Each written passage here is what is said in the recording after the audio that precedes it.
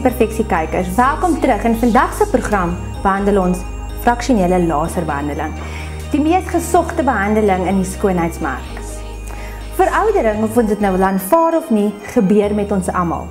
Fraksionele laser werk veroudering te, verbeter wonde, letsels en dit behandel pigmentasie. Dit word hoofsaaklik by mediese estetiese klinieke aangebied. Vandag behandel ons die nekarea waar ons veroudering natuurlik eers te wys. Vandag saam met ons in die ateljee is Annabel van Refinement Kliniek. Annabel, welkom by ons. Baie dankie. Annabel, vertel ons 'n bietjie wat kan alles met fraksionele laserbehandeling behandel word?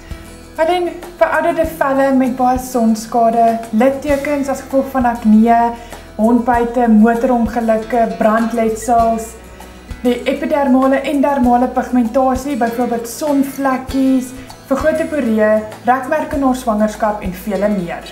Is daar enige risiko vir infeksie? Soos met enige behandeling, moet die kliënt dat die nuwe vel omsien.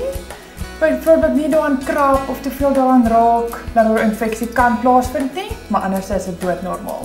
Annabel, kan 'n mens ooit weer in die son wees nadat jy fraksionele behandeling toegepas het? Nee, Aileen, ons bly in Suid-Afrika. Strooksting, sonbeskerming word aanbeveel, so niks meer lê in die son nie. 'n SPF is 'n nuutste beste vriend. Annabel, hoe lank neem so 'n behandeling? Tussen 15 en 45 minute. 'n Topikale verdowing word aangewend tot en met 'n uur voor die behandeling. As 'n mens fraksionele laserbehandeling kry, kan jy slegs een klein area behandel.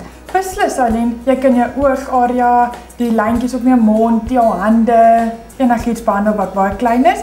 Kontak gerus 'n fraksionele laserkliniek vir 'n konsultasie. Verduidelik asseblief vir ons kykers hoe werk so 'n behandeling. Ons behandel 'n fraksie van jou vel met duisende mikroskopiese laserskote.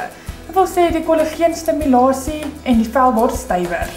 Is daar enige wenke wat jy het vir ons kykers? Ja, ek het uitdien. Kykers, maak asseblief seker dat jy die regte produk wat geadverteer word ontvang en namaaksels van apparate is volop en ook ongekwalifiseerde personeel. Annabel, ons het nou al hierdie inligting. Wys asseblief vir ons hoe werk hierdie prosedure.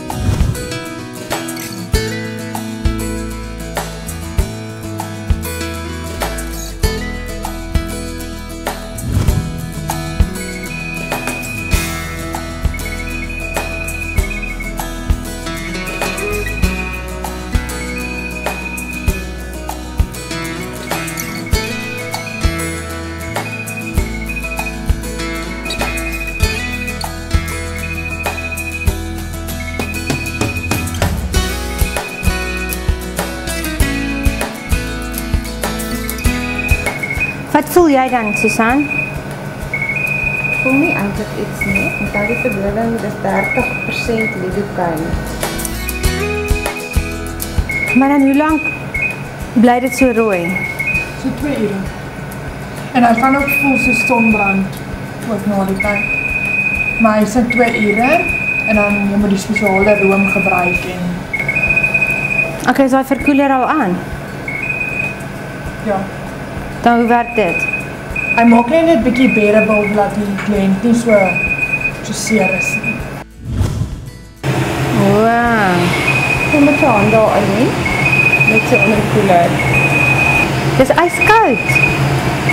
Ek maar dan voel jy nie daai ijskoue nou op jou nek nie, Susan? Ja? Omdat hy verdoof is. En omdat hy op op hitte ook is. Sien hy begin direk swel. Dan gaan mooi lyk vir die eerste 2 dae, dan gaan nog swel wees. En dan daarna sal hy gaan jy dan oh, ek het my geld gemors. Maar soos wat die kollageen begin bou, so gaan hy aan aan begin bou. Annabel, baie dankie vir al die waardevolle inligting wat jy met ons kykers gedeel het. Dames by die huis, as jy enige fraksionele laserbehandeling benodig, kan jy gerus na ons webwerf www.exieperfeksie.co.za gaan en loer daar vir die naaste mediese estetiese kliniek in jou area, sodat jy jou probleemareas sommer in 'n jaktrap kan behandel sodat jy eksieperfeksie seksie kan lyk. Ons hoop julle het vandag se episode baie geniet.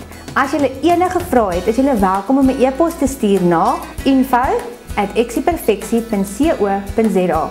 Ons sal jou so gou moontlik terugantwoord. Tot 'n volgende keer. Eksieperfeksie groete.